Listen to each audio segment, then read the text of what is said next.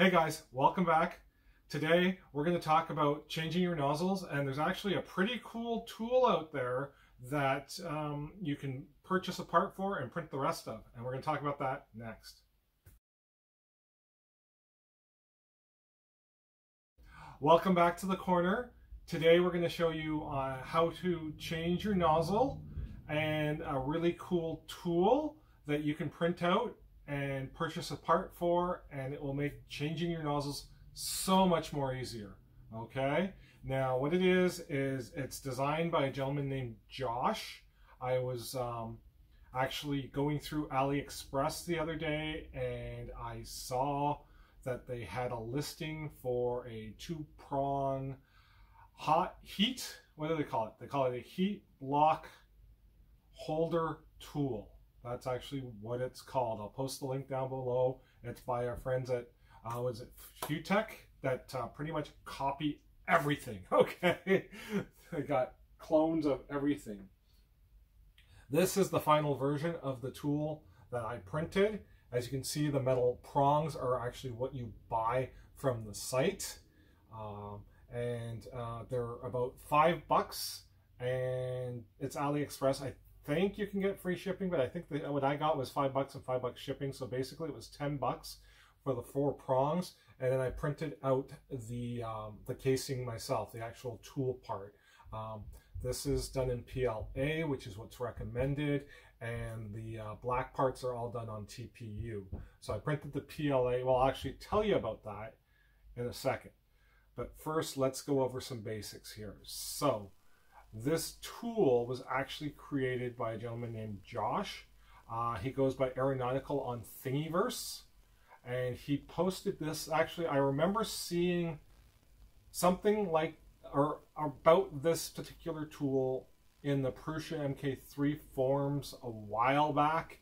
And it uh, was this gentleman who hated changing his nozzle because he had to use pliers to hold the heat block and you get marring and damage to it. So he actually invented this. He invented the prong system and he modeled this.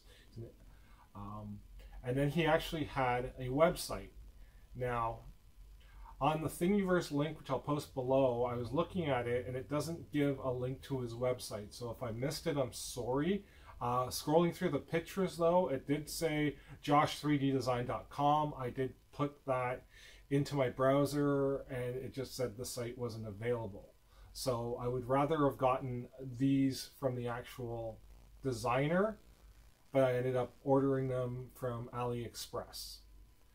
Now, with all that housekeeping out of the way, let me show you how we printed this. I believe it was printed with uh, 20.2 millimeter layer height, 50% infill.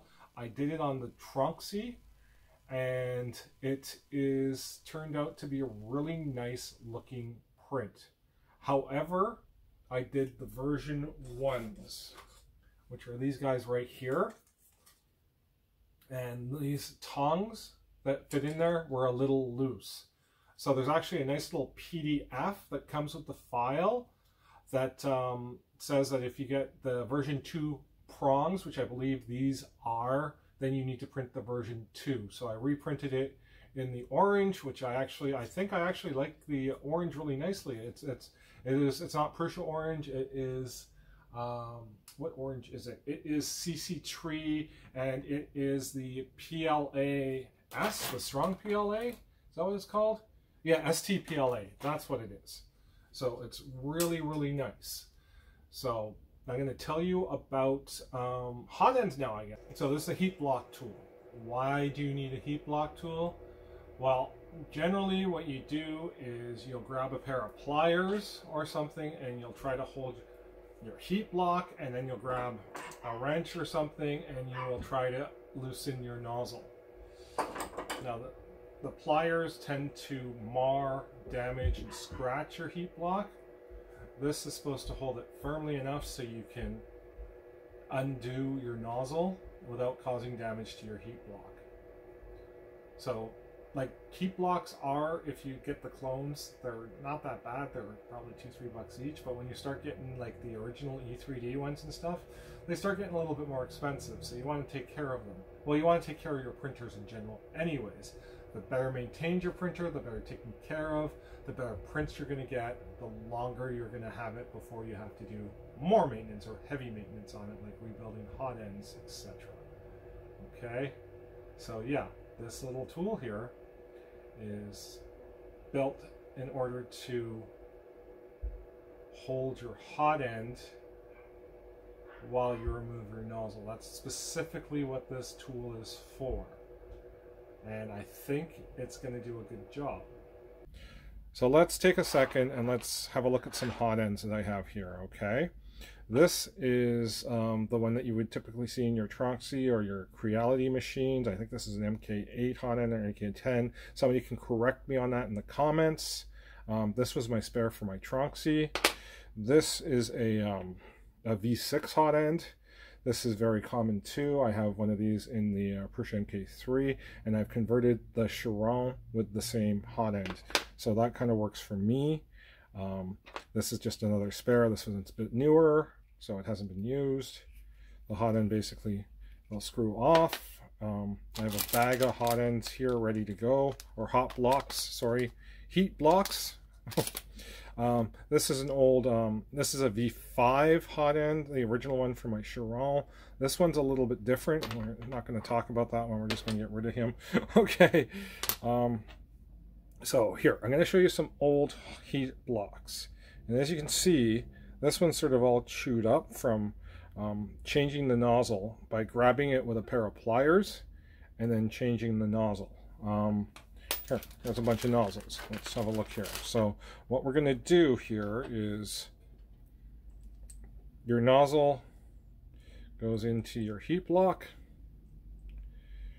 Your heat block goes into this would be your um, your heat sink this would be your throat. Um, they screw together like so, and they screw together like so. And to tighten the nozzle, um, these are seven mils, I believe. Now, honestly, this, I got this at the dollar store. You can use um, a socket. Um, you can use one of the um, you can use something like this. That's a ratchet to, um, in order to um, do this. I just like this because I actually have an 8 and a 7 on here, and it just really works for me. I found this kit at the dollar store for like 2 or 3 bucks. That worked perfectly for me. But yeah, so now back to this. So you have your hot end, you have your heat block, you have your nozzle, you got your throat. So you're going to tighten all that together.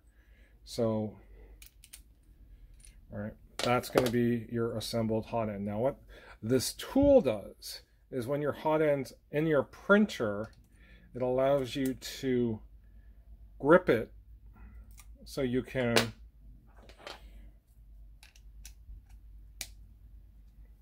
hold it up and then you can unscrew your nozzle, right? So this is the um, upside view of my Anycubic Chiron's hot end with this nozzle and its heat block and you can see what I'm doing here is I am um, using the tool for the first time to snug the heat block. So before I did this I actually I preheated my nozzle to 230 and I removed all filament. So now that it's hot I am going to attempt to uh, remove the nozzle. So it's holding the heat block pretty snug once I figured out the um, logistics of it. I'm a little bit awkward here because of the fact that I'm trying to um, get a view for you guys to see kind of what I'm doing and at the same point in time learning to use this tool. But as you can see it's holding on quite well and I'm able to loosen it. I am going to change a tool right here to see if you guys can get a better view of what I'm doing. So I'm just basically going to take a ratchet and loosen it and you'll see me remove the nozzle and then reattach the nozzle and I'd say this would be a very successful print and a successful tool. So we're going to talk about changing nozzles. Why do we need to change nozzles? Well, your nozzles can get clogged um, if you print like some abrasive filament like glow, wood, um, any infused filaments like with the metals, they could, they're abrasive, they can get worn down. So you're going to need to change your nozzles every once in a while.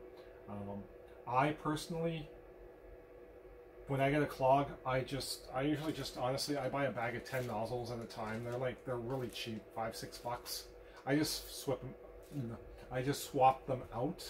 It's the easiest way to do it. That way I'm back printing in no time. But when I do that, it comes at a price. It comes with damage usually to my heat block because I'm not paying attention, I'm trying to go quick, I, I end up, you know, just beating the crap out of them to be honest with you, right? So um, that's why I say this little tool here ends up being a pretty good little lifesaver. I um, I'm liking it. I'm using it. I've tried with all my printers so far, and it does what I need it to do. It is printed out of PLA, and the inside is TPU. Um, so I'm gonna see if the PLA, if I start noticing that the uh, the tongs start getting loose because the heat transfers into the PLA. I'll see about that. I don't know. Worst case scenario, I can reprint it in ABS or PETG. And, you know, I'm liking this little guy here. So, I'd say this is a solid investment for 10 bucks. Uh, I wish Josh had his site up. If you're out there, if you're watching this video, throw me a comment, shoot me an email. Like this is full credit to you, bud. You um, you designed these parts, you designed the tool. I'm just passing along the knowledge. That's all I'm doing, right? So thank you so much. Appreciate it. For 10 bucks, I'd say, you know, this is a good good enough purchase to make your life a little easier. So you're not fiddling and fighting with your pliers trying to get them all up there. You know, this just holds on and it does a fairly decent job of doing it, right? So I'm going to um, keep this in my arsenal to help me with my printers. So yeah, so if you like this video, if you like this little tool here, um, you want to see more stuff like this, hit the subscribe button please, leave a like. Um, you want to help me out, purchase some of this stuff, let me know what you want to buy. If you want to, you know, support the channel in any way, feel free to buy me a coffee. Okay, um, until next time, peace out. Take care.